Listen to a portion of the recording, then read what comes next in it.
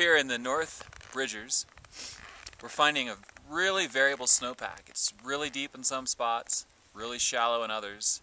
Uh, a few things though that, are, that, it, that, it, that the different spots have in common is in some places I can push my pole down and the snowpack is about as deep as my pole is long.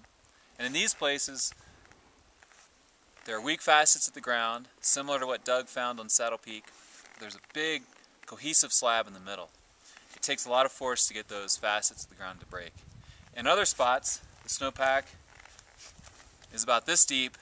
In those cases, it's just all facets, very weak. But even there, there's not much of a load on it, so it takes quite a lot of force to get those to break. On every slope, however, we have a thin layer of near surface facets. Uh, this is a more southerly aspect, so we have a crust here.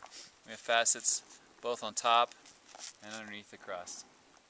We're finding that on all our slopes, with or without that crust. So what'll have to happen is we'll have to get another storm. If we get a big dump of snow, we'll see definitely see avalanches on this layer. They might step down to the deeper depth hoar.